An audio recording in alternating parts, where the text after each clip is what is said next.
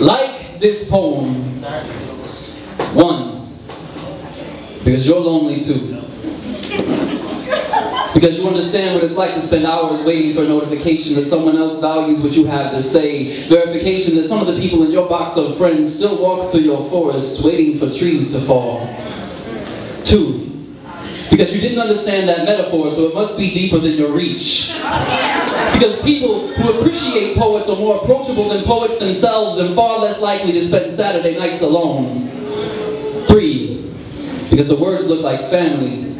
Because when they pass your teeth, it's as if your soul joins in chorus and their syntax wraps cozy around your shivering bones. It's because their eyes look like yours. Because they know how to cut you, but don't. Because you're in love. Because if a raccoon tore a hole in your garbage bag, ate last week's now green chocolate cake, and heaved it back up onto your front porch shortly thereafter, you would see poetry in it. Because poems look like pies through rose-colored glasses, and it's really hard to find a bad pie. Five, because you hate this poem but won't tell me. Because our relationship hangs on your approval, and you know I'll ask you to make me feel okay about writing this later. Tell me that people don't appreciate real art anymore, and that's why no one else has responded. Six, because it doesn't rhyme. Because there are numbers separating the stanzas that force you to read the last line slowly because it references Facebook, so it's something you can relate to because it's a little bit outside the box but still inside of mine. Seven, because you understand why I wrote it. Because there's loyalty in the signature, even our forefathers acknowledged, and it's the best way you know to take sides.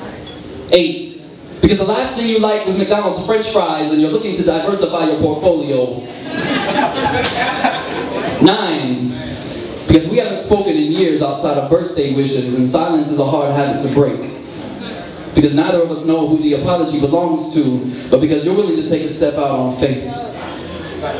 Ten, because you understand the impact an echo can have on its source. Because we all stand on stages built with trembling hands. We carry microphones in our pockets on those nights too quiet to sleep and purge our lungs of their angst. Because this cave cannot be empty. Because words don't look like family unless they're spoken by someone you love. And because some nights, all I need is your name to remember that I still have my home.